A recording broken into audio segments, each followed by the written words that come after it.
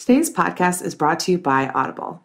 Get a free audiobook download and a 30-day free trial at www.audibletrial.com slash historyfangirl. Over 180,000 titles to choose from for your iPhone, Kindle, Android, or MP3 player.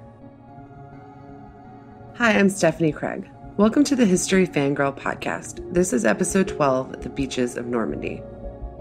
Earlier this year, had the opportunity to visit the beaches of Normandy with Liberation Route Europe, a nonprofit organization dedicated to honoring and educating the world about the Allied liberation of Europe during World War II. On this trip, I visited the beaches of Normandy.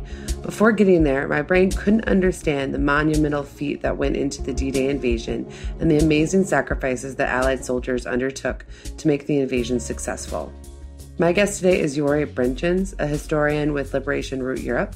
We discussed the events leading up to the D Day invasion, what it was like to be a soldier on the beaches on D Day, and how Europeans on the ground experienced the liberation. At the end of this episode, find out how to enter this week's contest.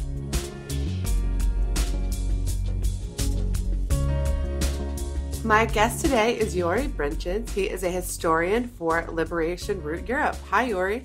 Hello. How did you get interested in the liberation of Europe? Because I guess as an American, I have a very strong interest in World War II. I know lots of Americans do. And it surprised me when I was traveling with Liberation Europe. And every time I would meet somebody associated with the organization, especially if they were Dutch, the passion that the Dutch nation has for the Allied troops, and it's it was just really touching. So, how did this become your focus for your work? I'm not actually sure, to be honest. People have asked me the same question uh, uh, quite a few times before, and the the only answer I really have is that since I can remember, I've had a really strong interest in history in general. So in high school, it was one of the the only subjects I actually enjoyed going to and from there, I decided to go to university, study history. Uh, my expertise is actually Roman and medieval history, if you go from uh, what I've been told in uh, university. But this is uh, really a hobby that's gotten uh, really out of hand by now. so, uh, yeah, not really sure where it came from, but I'm always fascinated by, especially the history of the Second World War. So, why don't we talk a little bit about where Normandy is? Because people might not know where in France it is. So where is Normandy? Normandy is on the, the west coast of France, and it's sort of in the, the, the upper northern part of France.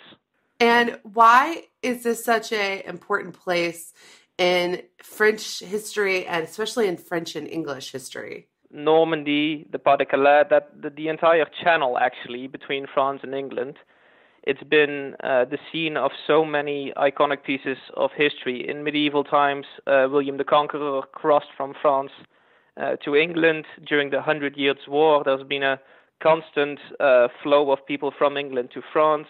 If you're in England and there's a way to go to France, you have to go through the Channel. The easiest place to do it at, distance wise, is at Calais. But essentially, the entire channel is the connection between England and France. Let's talk a little bit about what Normandy was like before the war. Normandy has its own distinct culture that's kind of different from France anyway because of the history with the English and the Vikings, etc. So just give us a couple sentences. What was Normandy like before all of this happened? Well, uh, as you said, because of its history in medieval times with the, the invasions of the Vikings, because of its history in the medieval period with the Hundred Years' Wars, Normandy uh, has a very rich history, but prior to the outbreak of the Second World War, it was not really too different from every other part you could find in France. Of course, there are regional differences that do occur, but most of the people uh, were farmers with a bit of industry near the larger cities. Uh, of course, it being an area of France that is located on the shore, it also has uh, fishing industry and trade, but essentially it's not really too different from other uh, locations you might think of in France. So, when the Nazis occupied it, what was life like in Normandy under Nazi occupation? Because it was a little different than what it was like in Paris or Vichy France. Essentially, there's a big distinction if you're in France between the occupied part and Vichy France, the part that collaborated with the, the, the Nazi German government. But in Normandy, basically the same rules would apply as to all the other parts of occupied France. So um, there were strict limitations on what, for instance, Jews could do. Uh, Jews had to wear their uh, Star of David to make sure that they were recognized as being Jews. The local population would have encountered some uh, measures from the, the government. At first, those wouldn't have been too uh, far reaching, but as the war progressed, and especially as the invasion seemed to approach, all those restrictive uh, measures were uh, going a bit further. So that there was no way the population could contact the, the allies to help them, that was very restricted in that sense. So they tried to restrict the local population in that they couldn't be part of the resistance movement. If you were caught as a member of the resistance, that had dire consequences, of course. Basically, that was life under occupation. So, on the eve of the invasion of Normandy, what's happening with the Allied forces? Why are they picking this spot? And what was the preparation for the Normandy invasion like? Wow, the preparation for the, the Normandy invasions must have been one of the most biggest preparations you can ever imagine in in any war, essentially. Over a million people were assembled in uh, the southern part of England. Large scale uh, decoy actions were set up to have Nazis convinced that the Allies would actually land elsewhere perhaps on the Dutch coasts or even uh, in Scandinavian coast or in Central Europe via the Mediterranean. It, the, the, the preparations are completely beyond uh, any imagination. It's such a large scale undertaking, absolutely incredible. And to answer the first question, uh, the reason why they chose Normandy as a location to land is because of several factors the Normandy coastline is somewhat sheltered from the worst weather. It forms a natural bay with the Cotentin Peninsula on uh, one side. It's within fighter cover of English airfields, so if you have a landing, uh, the fighter planes that are stationed in the, the southernmost part of England are capable of covering uh, the landing areas, which was, which was absolutely vital. And it isn't too far away from England last factor I think uh, worthwhile mentioning is that the German defenses of Normandy were far less complete than, uh, for instance, at the Pas de Calais. So uh, the the obstacles they would have to overcome on the beaches were uh, not the heaviest that you could find along the shoreline. Why was that? Why why were the Nazis concentrating their forces at Calais? Calais is the obvious spot you would choose if you were to do an amphibious landing. It's the shortest distance from Britain at Dover. So um, there's still a ferry line between the two places to, to illustrate that. It's really a convenient place to cross. The fighter cover that the Allies could provide would have the largest depth because it was the closest, so uh, they could strike further inland. The big reason not to go there is that the German defenses of Calais, for those obvious reasons, were they had achieved the highest level of any location on the Atlantic wall, so the, the German shoreline defense. Calais was the most heavily fortified location, and uh, the country just behind Calais is also not really convenient if you want to strike towards Germany quickly. There's a lot of rivers, canals, stuff like that that would impede any invasion force. So therefore, they chose Normandy over Calais. And when they chose Normandy, what was it like on the ground? Who from the Nazis was in charge, and what kind of work were they doing to prepare? That's a really interesting question. The one of the main issues ha- that the Germans had was that there was essentially no one in overall command, or at least three people who were responsible, and that made for a very difficult situation. The person who was supposed to be in overall command was uh, Gerd von Rundstedt.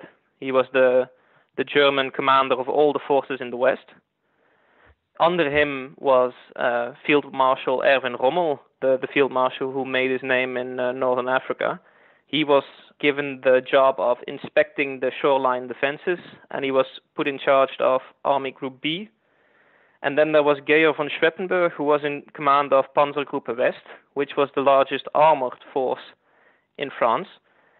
And then there was still an armored reserve that was under the direct control of Adolf Hitler. So essentially, uh, four people trying to do the same job, and none of them were quite all in line which, uh, with what needed to happen to uh, to counter the invasion.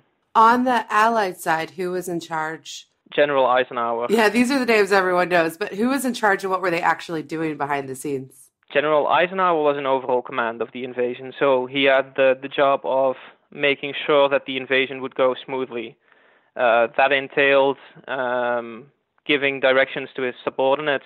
Uh, the important, most important of those were um, Bernard Montgomery, the British uh, commander. He was made the uh, overall land forces commander for the first period of the invasion. Later on, Eisenhower would take that job himself.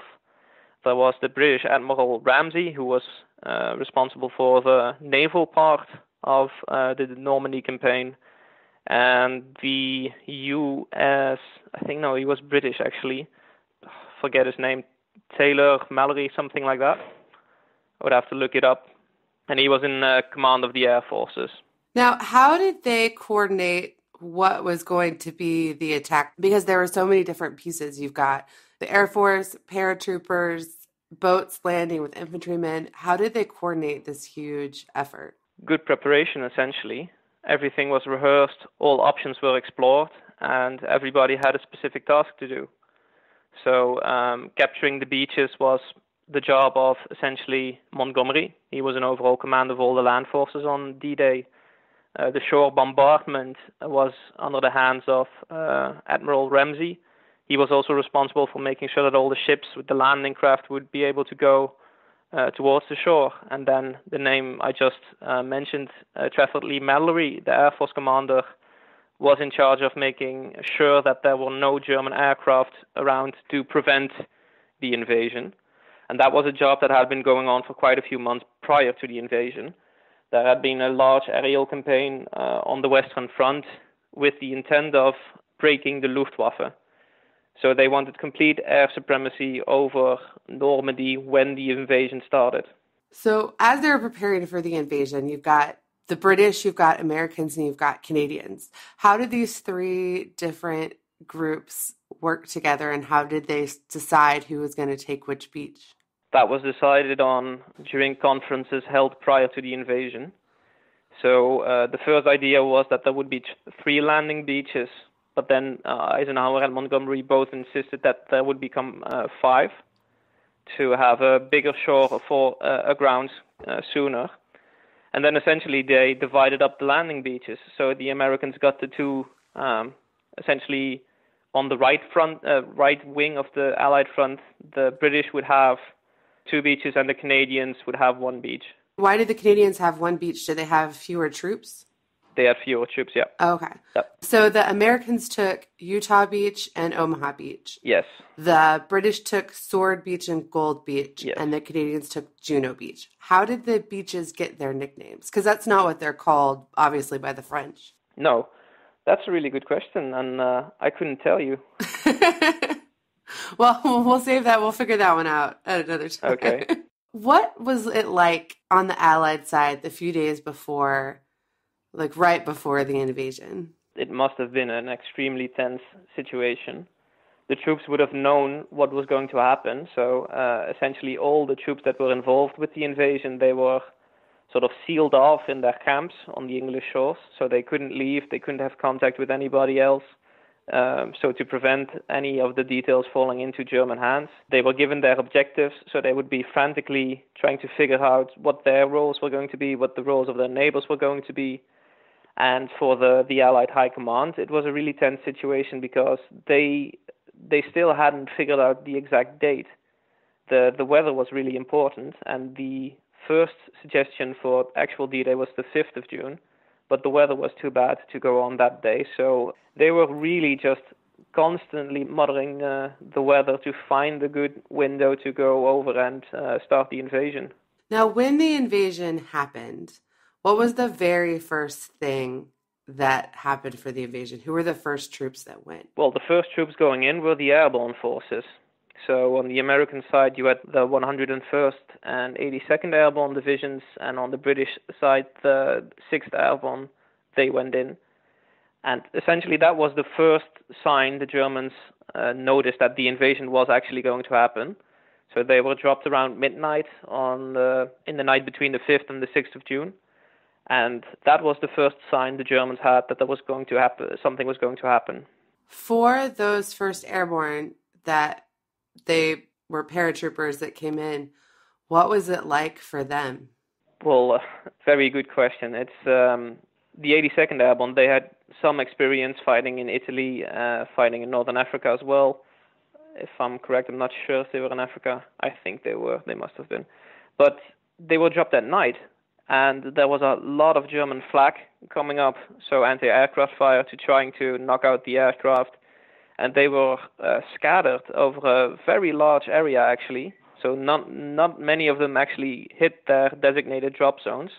So they landed. Um, other confusion. They had to try to find other members of their own unit, and then trying to get their orientation and find a way to uh, achieve their objectives.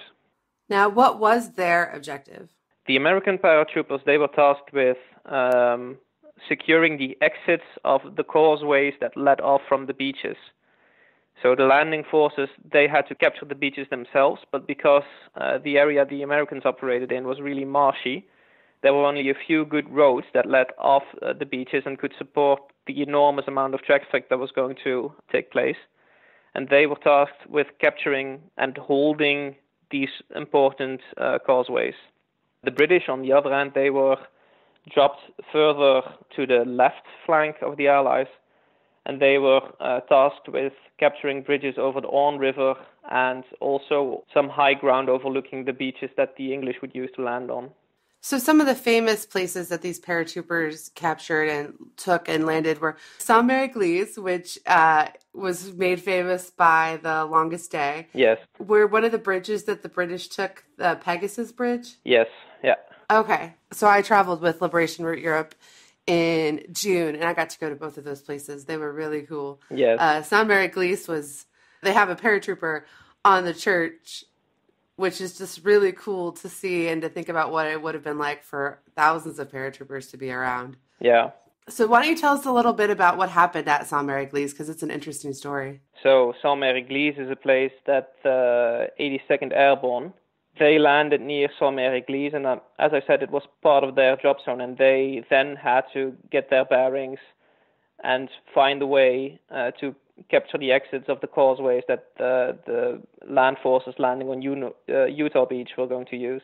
And tell us a little bit more about Johnny Steele, the paratrooper that landed on the church. Oh, I'm not really familiar with this story. Essentially, what you see from him in um, in the longest day, that's what made him famous he got his parachute stuck on a church tower and he was dangling from it, trying not to be noticed by the Germans that were swarming all uh, below him. And uh, well, he managed uh, to survive. I think he got free at some point and uh, landed quite rough, but I think he survived. Yeah, and some of the other paratroopers that landed in trees, the Germans would just come up and shoot them. So it was really a dangerous yes. position to be in. You could land in trees, but the worst thing to happen for any of the paratroopers was to land in water. So there was a large marshy terrain, and if you landed in water with all the equipment you were carrying with you, it was very difficult to keep your head above water, quite literally. And that's how quite a few of them died. They landed and simply drowned.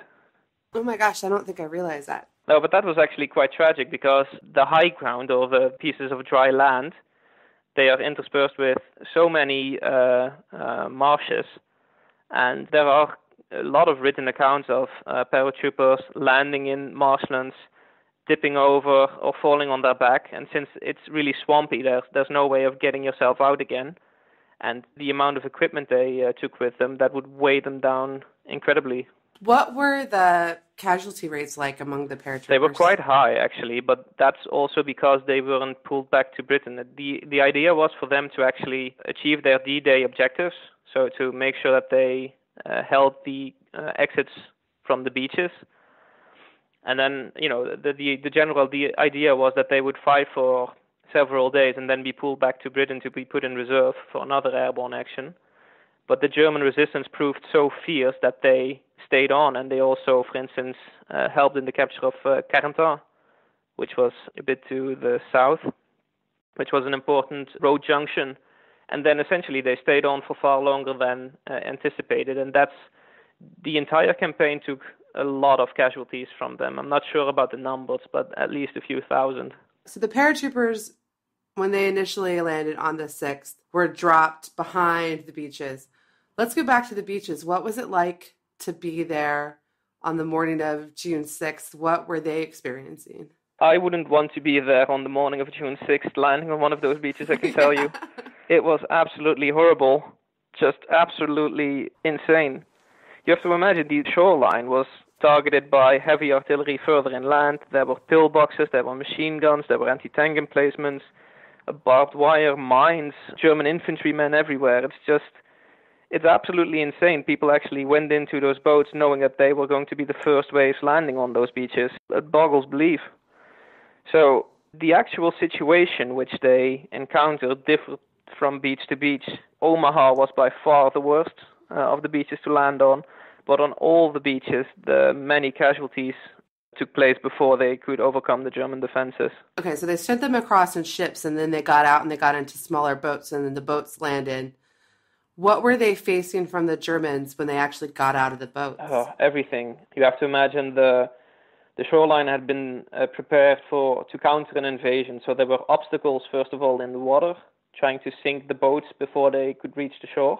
There were anti-tank obstacles, minefields, uh, barbed wire entanglements, and that's just the obstacles. Then you get uh, the Germans who command the high ground, the dunes essentially, and they are firing down with mortars, with machine guns, with rifles, and then there's heavy artillery further inland and that's also used to target uh, the beaches.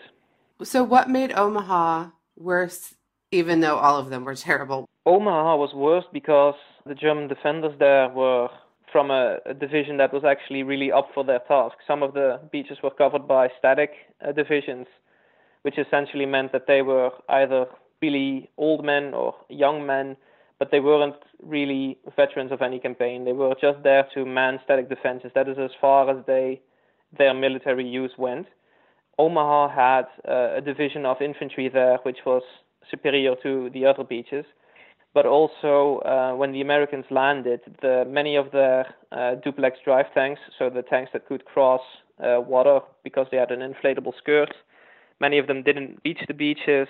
Um, the bombardment by the uh, Navy hadn't been as effective at other locations despite the fact that it was an incredible bombardment to start off with, but the defenses remained relatively intact. And all those factors put together made for an absolutely uh, horrific experience for the Allies. Let's talk a little bit about Pointe du Hoc, because I was not a Normandy history buff before I got to Normandy. And I knew about the beaches, but I didn't know as much as I thought I did. but I didn't really know anything about Pointe du Hoc. And it is the feats that, that the soldiers had to go through there was just incredible. So why don't you tell our listeners what, first of all, what it is and what they had to do there? Well, Pointe du Hoc is a large cliff in Normandy that is in the middle of Utah and Omaha Beach. So it's a cliff that overlooks both uh, the American landing beaches in Normandy. And what the Germans had done there was build massive gun emplacements. The importance of Pointe du Hoc was that if you don't capture it, the Germans have an ideal firing position to uh, overlook both the American beaches, and that's why it had to be captured quickly. That was one of the main jobs the Americans faced to capture Pointe du Hoc. To capture it, what did they have to do? Pointe du Hoc is is a cliff, so it's a massive rock face that just rises up out of the ocean. The job was given to a ranger battalion, so sort of uh, special troops within the U.S. Army to scale the cliffs first of all. So they used used ladders, they used uh, ropes tied on anchors that were fired up the cliff with using mortars to get up there. So they first of all their first job was to scale the cliff while under German fire, which is absolutely a horrible job to have. When they were actually on top of the cliff, they would have to uh, defeat the German garrison and disable the guns that they thought uh, were located there because in actual reality that the large guns had been removed from the sites at Pointe du Hoc.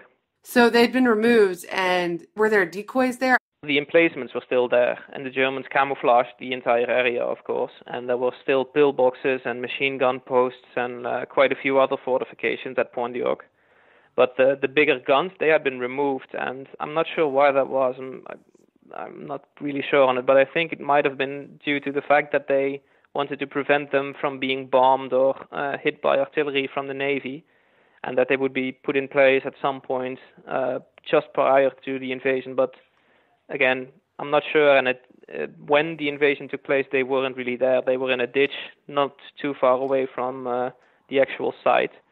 But still, the, the, the capture of the, of Pointe du Hoc was really important because the Germans could still overlook both beaches from it. So the the, the Ranger Battalion did an absolutely incredible job in uh, securing it. What was it like for the Canadians at Juno Beach? Because that's a story that I really hadn't heard before. It wasn't really too different from the American uh, landings on Utah. Omaha, as we said, it's the Omaha was the worst beach to to land on, but in the Canadian and British sectors, the defenses were uh, quite strong. So coming ashore was still a very deadly event as soon as the, the, the, British and Canadians landed on their beaches, they, they poured out of the assault craft onto the beaches. And again, the, the, the regular obstacles, the mines, the barbed wire, uh, the German pillboxes, machine gun emplacements, artillery opened up. And uh, there were heavy casualties as well trying to get off those beaches too. How long did it take for the Allies to secure the beaches themselves? Well, that's a good question. It, it, really depends on what you see as the beaches. So the, the defenses stretched quite a bit inland from the beaches. So the actual sandy part, uh, for lack of a better term, of the beaches up towards the dunes, in most cases those were, those were captured within a couple of hours. Omaha being the large exception, still Germans were still holding out a day after D-Day on the 7th of June in their positions at uh, Omaha and there were several locations near the beaches or connected to the beaches that held out for quite a bit longer than the general defense line. What was it that allowed the Allies to take the beaches? That's a that's a big question. As I said, if you go back in history, there's a few places you uh, want to be less than in an assault craft on uh, D-Day in the first wave. So the individual bravery of the Allied soldiers capturing the beaches, that's the paramount but a lot of events preceded the actual landing. So um, one of the, the key features was the Allied air campaign, which took place months uh, months before the actual landings took place.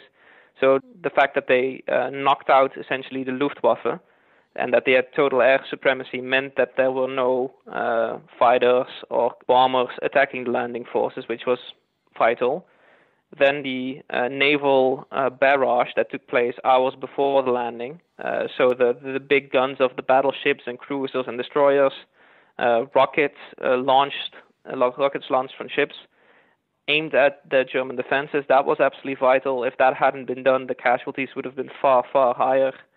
And then there's smaller things like the special landing craft that had been developed. It's quite well known. They're called the funnies so all sorts of adaptations of tanks uh, used to clear the beach defenses, flail tanks, frame, flamethrower tanks, um, anything you can uh, think of.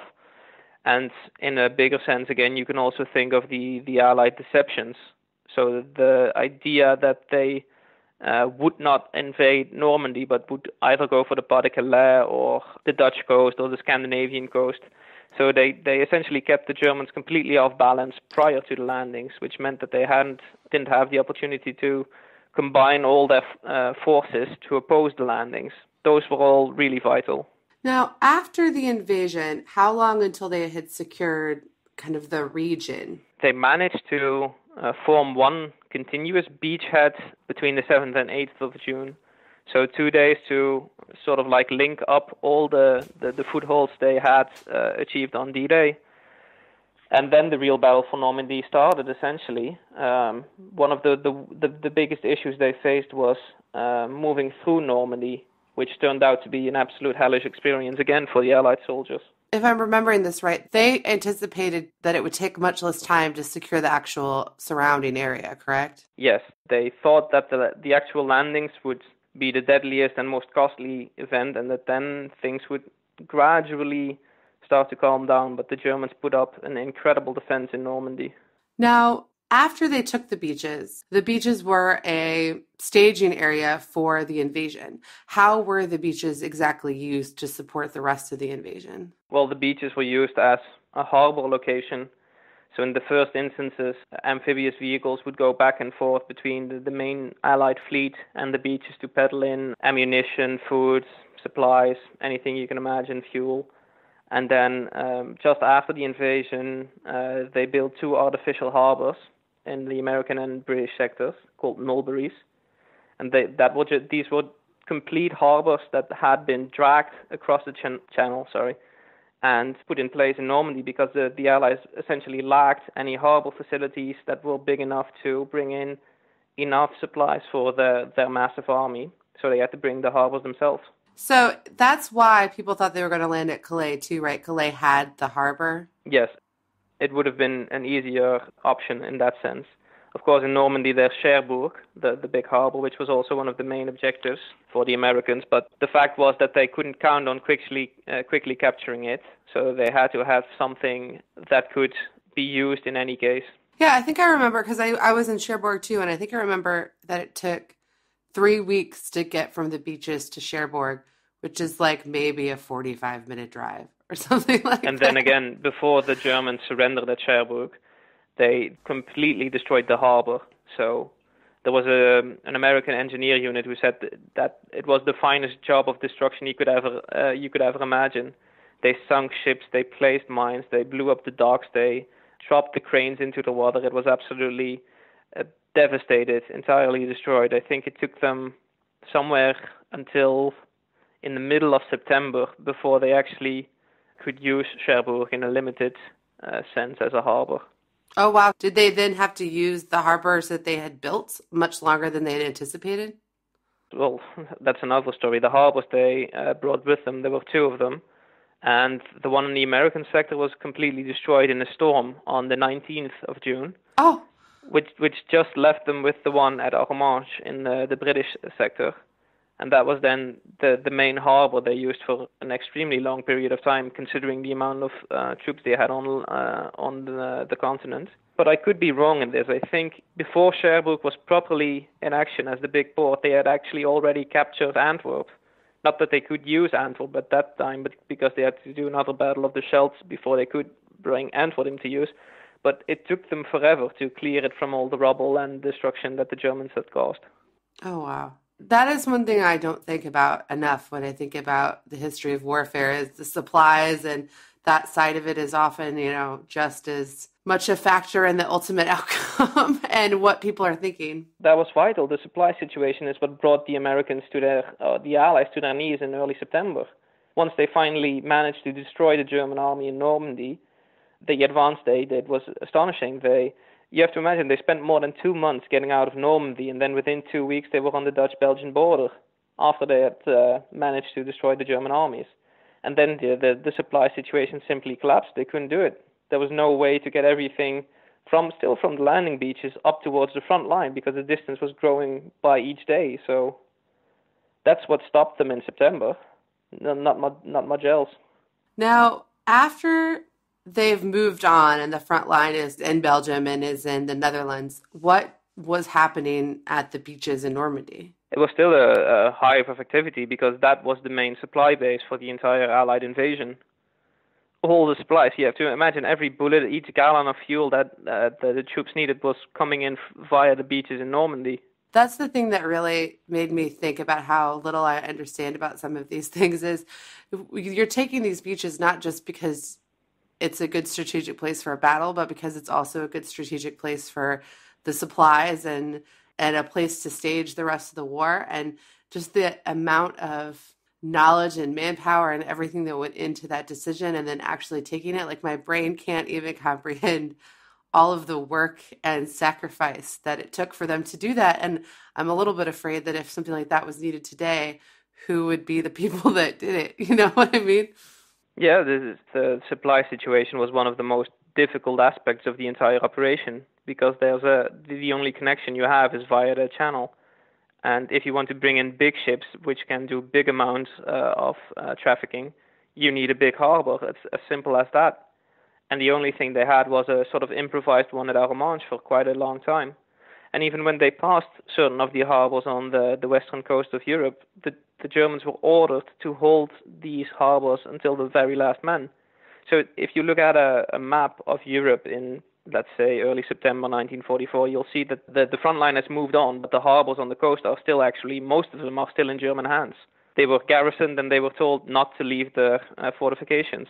Oh, wow. So, what was the relationship like between the French on the ground and the Allied troops as they were coming in? Well, the, the Allies were obviously very welcome uh, to come in. But I think that many of the, the, the French people living in Normandy or in like cities like Caen, for instance, they were disappointed in the fact that the Allies were quite close, but the liberation took, for for instance, for Caen took six weeks, and basically the entire city had been bombed to ashes. There was nothing left.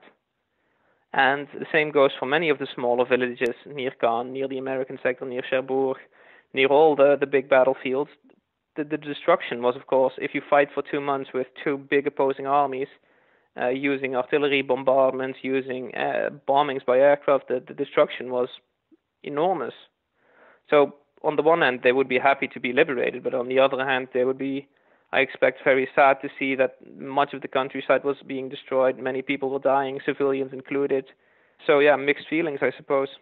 Yeah, that word liberation is really heavy just because on the Allied side, I think a lot of Westerners understand that the liberation by the Red Army, especially if you were in Eastern Europe, was not necessarily freedom even though the word is still liberation. And I, I think I forget that in Western Europe, just because people were liberated did not mean that they had they were not still suffering, and that didn't come with some amount of terror. Because, like for example, my grandfather, he was part of D-Day. He was a bomber for the Americans, so he bombed like thirty. He did like thirty-five bombing raids. So in each one of them, he's doing work to free people, but he's also bombing people, you know, the people that he's trying to free in a lot of situations. So it's just a lot to think about. That's the reality of war, essentially. It's not a happy thing, it's not a uh, heroic thing.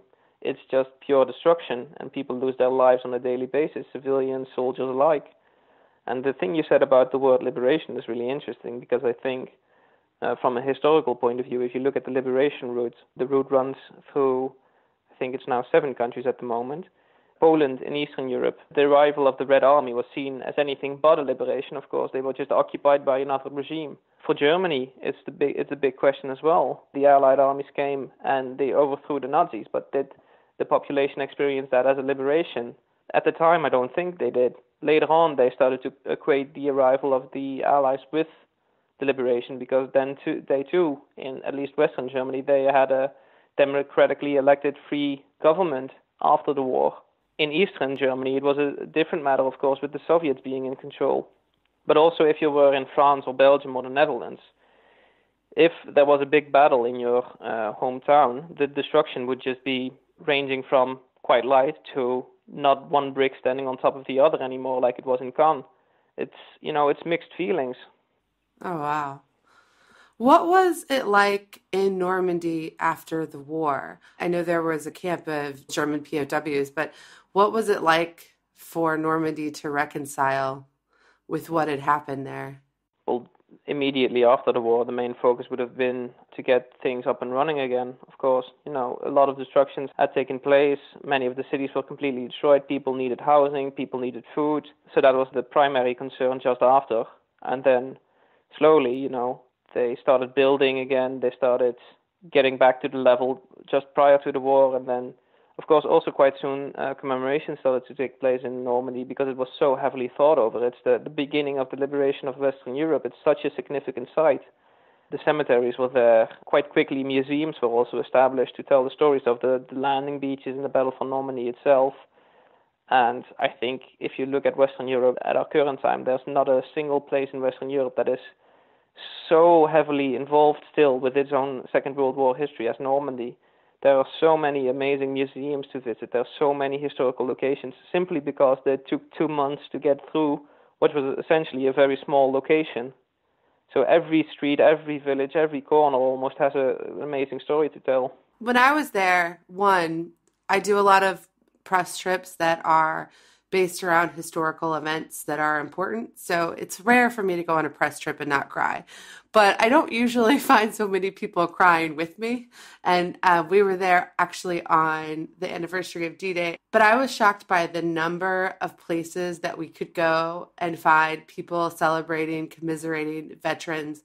Every place we went just seemed incredibly special. The museums were top notch. Like, I can't imagine a place that is more responsible about celebrating their history and inviting the people who took place in that history to come back. I mean, it was just amazing. And yeah, every every church, every place was had its own story and knew that story and wanted to make sure you knew their story too. I mean, it was just incredible.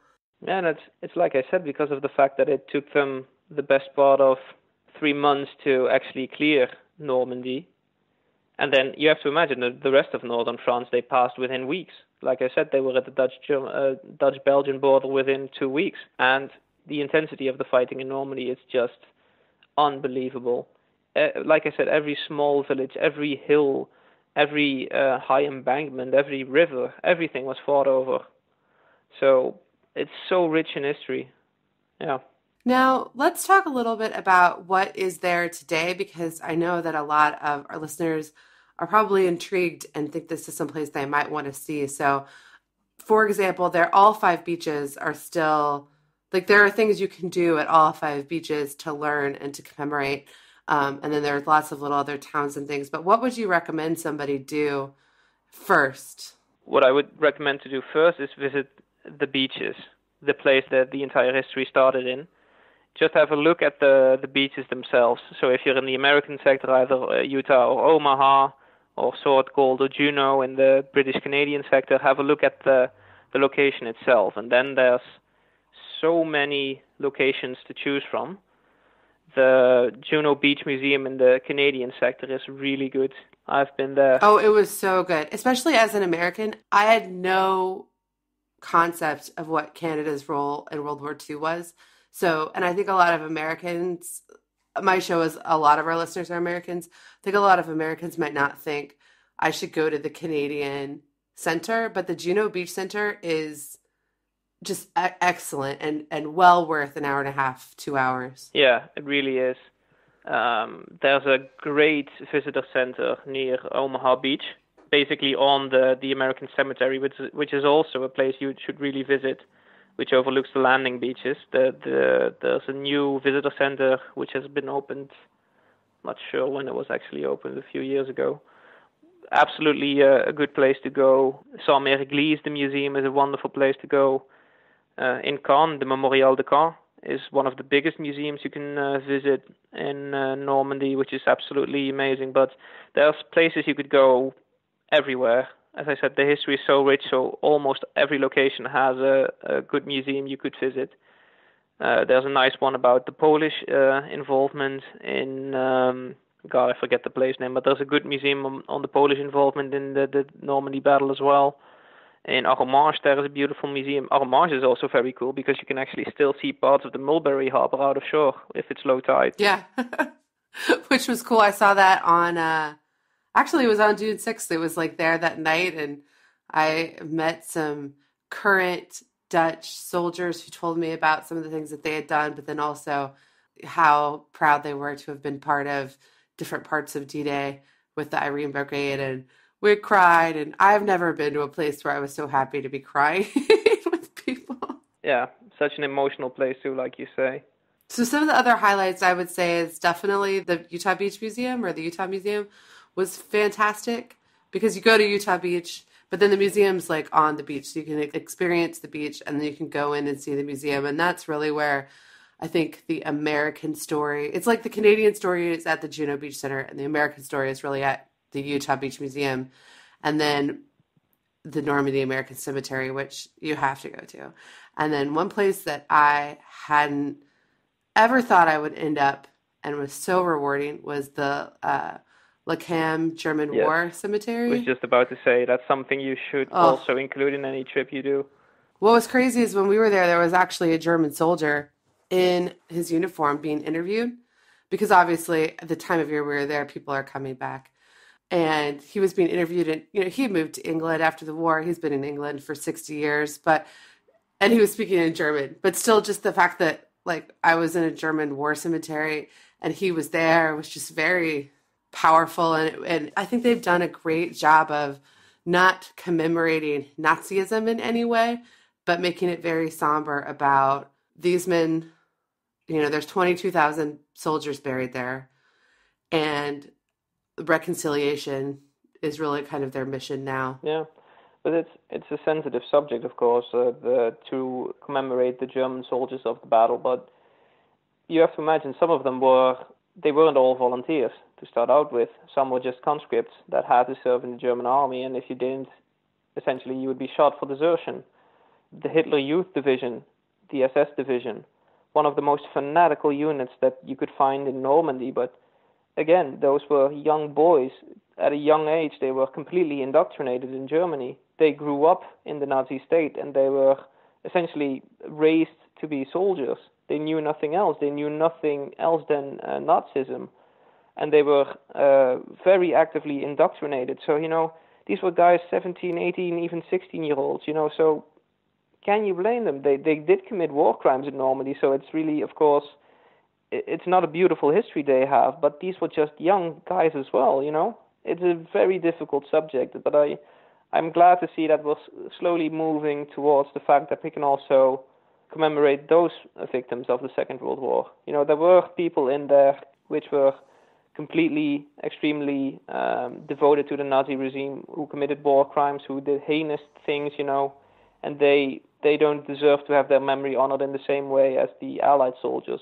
But there are also people who essentially perhaps didn't even want to be there or were so indoctrinated that they couldn't think of anything else to do, you know? So, yeah, difficult. Yeah, I, I've thought a lot about La Cambe as obviously in the States, we're having a discussion about Confederate monuments. And I recently was in a Confederate cemetery in Alabama. And I wish, I hope that America learns from how, more from how the war is looked at by Germany and how German organizations take care of their war dead, and that there's just a lot of lessons there because uh, I didn't get for one second a feeling of disrespect when I was there, mm-hmm. you know, but at the same time, there wasn't like a Rommel statue. We weren't glorifying anything, we were simply commemorating and thinking about it. And there was a place for their family to go and lay flowers because, you know, some of these people still have children, grandchildren that are, you know, alive and they deserve a place to go commemorate yep. their dead. But it wasn't um, a glorification in any way. So I just think there's, it's such a good place for, I think, Americans specifically to go and see how other cultures deal with things that we have similar things in our past. All credit to the German War Graves Commission. They do a absolutely excellent job of as you said it's a somber place. It's a place for reflection. It's a place to think about the past and it's a place where relatives can come visit the graves of their forefathers. But it's not to glorify nazism in any way. It's just you know these people were also there. They died. Some of them wanted to be there. Others didn't.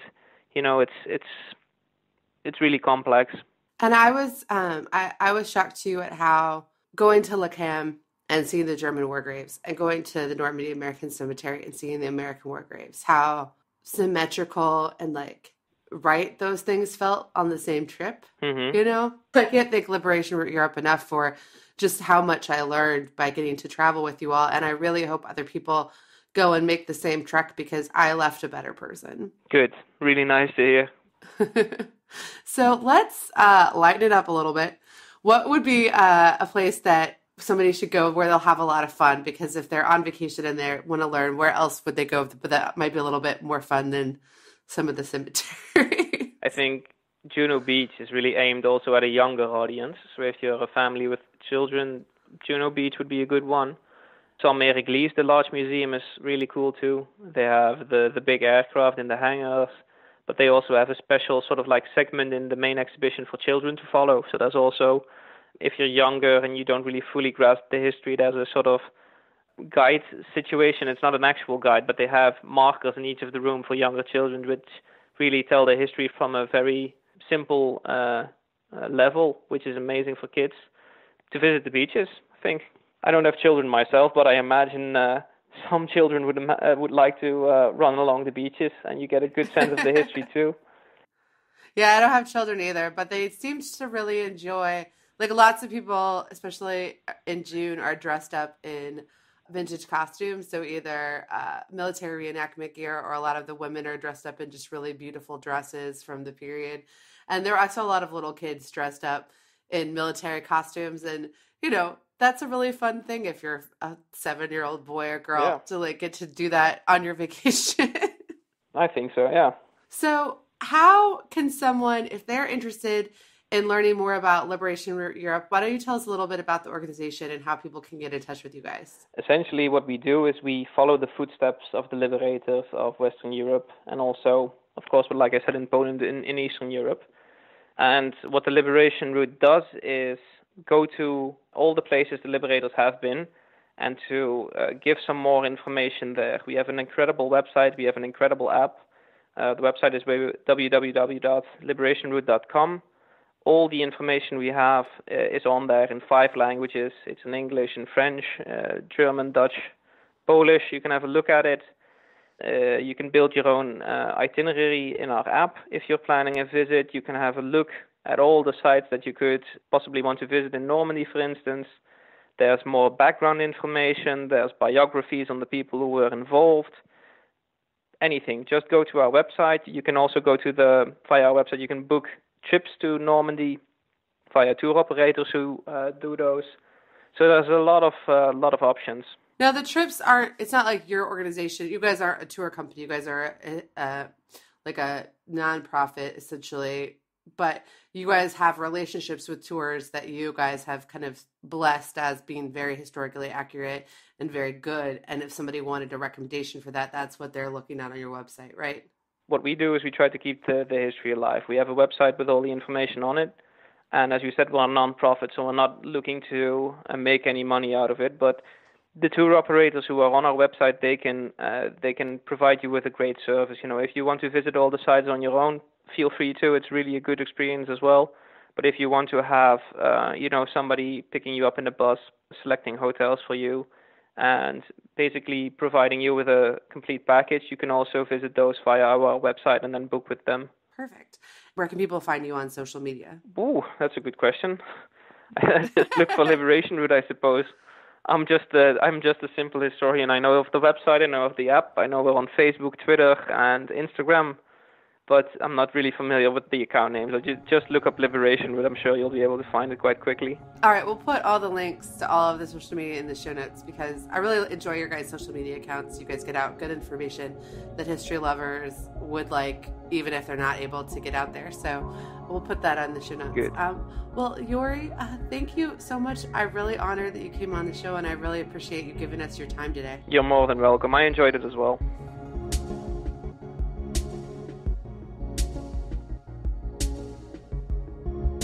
I want to say thank you again to Jory for coming on the show and sharing his knowledge of both the D Day invasion and how Europe experienced the liberation afterwards. Check out Liberation Route Europe's website in the show notes for tons of information on D Day and the rest of the Allied liberation of Europe.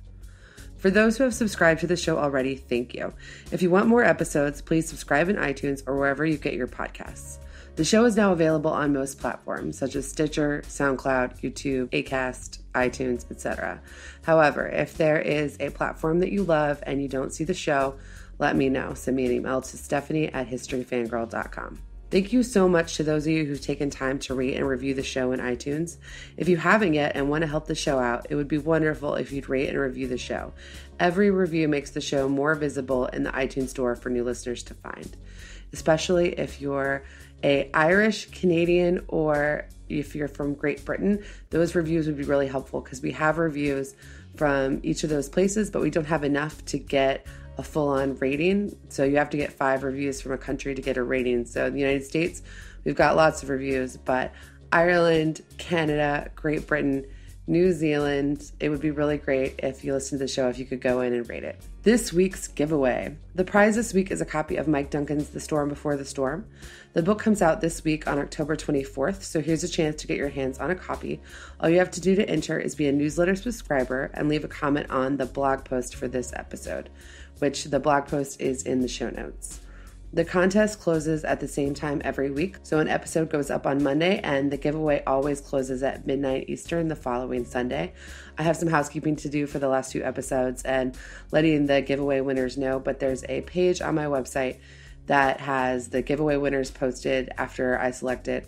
And I haven't had a lot of entries every week. So there's hundreds and hundreds of you guys downloading the show every week, which I'm really happy about two months in but not a ton of entries for the contest every week. So there's definitely an opportunity. If you want to win a copy of the show, go to the blog post and subscribe to the newsletter and leave a comment. It can be what you thought of this episode, it can be a comment about a place you'd want me to cover for another episode in the future. You know, just whatever's on your mind, let me know. And as far as the contest goes, good luck.